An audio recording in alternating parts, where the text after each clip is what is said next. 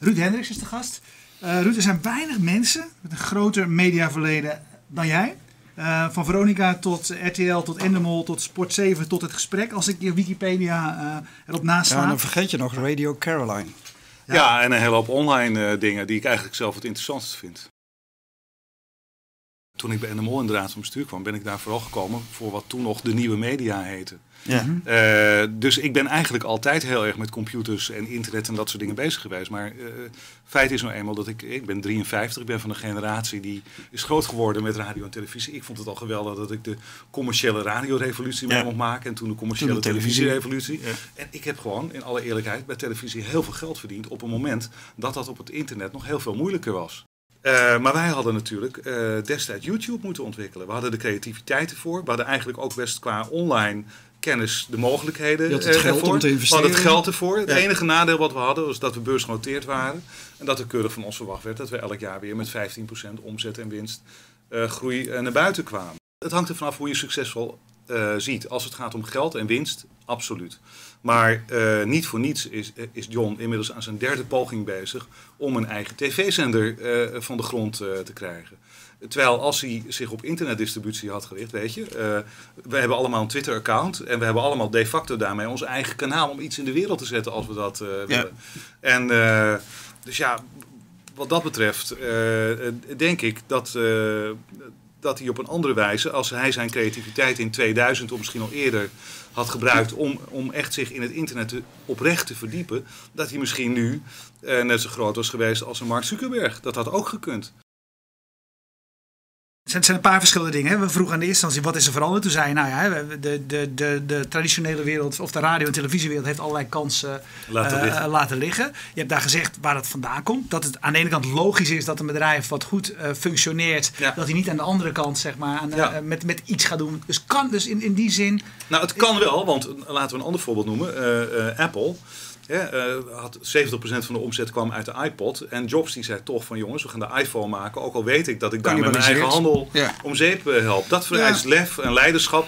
En bovenal dictatoriaal leiderschap. Wat moet radio doen om mee te groeien in de digitalisering? Nou, radio moet in eerste instantie heel erg meetbaar worden. Hè? Want als je nu kijkt gewoon dat is naar... een grote probleem, hè? Ja, want ja. Als, je, als je nu kijkt naar de media waar het goed mee gaat... online gaat het natuurlijk heel goed, omdat het extreem meetbaar is wat er, hè, waar je conversie vandaan haalt. Uh, televisie gaat goed, omdat ik denk dat tv social media versterkt en social media tv versterkt.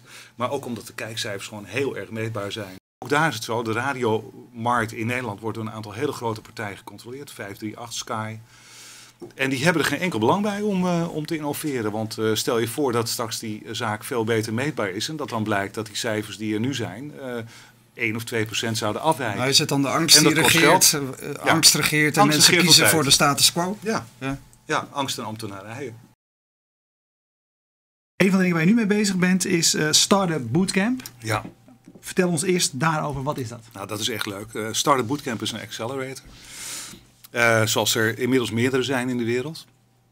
Uh, deze is helemaal gemodelleerd naar het model van Techstars in Amerika. Dat betekent dat wij uh, start-ups, mensen die een nieuw bedrijf willen beginnen in de tech en online wereld, uit de hele wereld vragen om zich in te schrijven op onze website. Dat hebben er inmiddels meer dan 400 gedaan. wij zitten nu in een selectieproces om terug te gaan eerst naar 20. die komen dan twee dagen in maart en dan uiteindelijk blijven er in april 10 over. En die tien bedrijven krijgen van ons uh, 17.000 euro cash, een, een softwarepakket, uh, gratis juridische ondersteuning, fiscale ondersteuning. totaal dienstenpakket is iets van 50.000 euro, gratis woonruimte in Amsterdam, gratis kantoorruimte in Amsterdam. Maar dat is eigenlijk allemaal het minst belangrijke. Want het meest belangrijke is dat we ze toegang geven drie maanden lang tot uh, 120 mentoren die wij beschouwen als de top van hun vakgebied. Waar komen die mensen vandaan? Die komen uh, grotendeels uit Nederland, maar we hebben daarnaast nog een pool van een kleine 500, 600 andere mentoren uit de rest van Europa en Amerika en ook uit China ja. zelfs.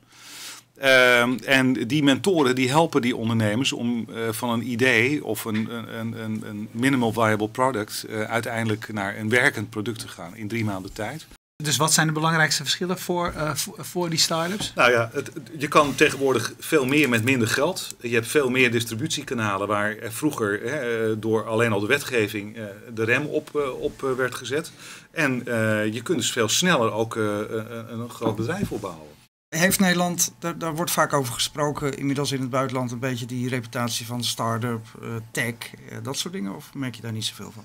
Uh, Wij denken dat graag zelf namelijk. Nee, ik vind, ik vind veel te weinig. Maar ik, vind, ik vind ook heel terecht. Er gebeurt natuurlijk veel te weinig op dat gebied in Nederland. Dat wat we nu zien nog maar het topje van de ijsberg is. Ik denk echt dat het dit is en dat er een enorm, enorm veel onder zit. Ik denk dat we de komende vijf à tien jaar uh, zoveel nieuwe ontwikkelingen krijgen. Uh, dat wat we, wat we nu als heel modern beschouwen, dat het eigenlijk helemaal niks is.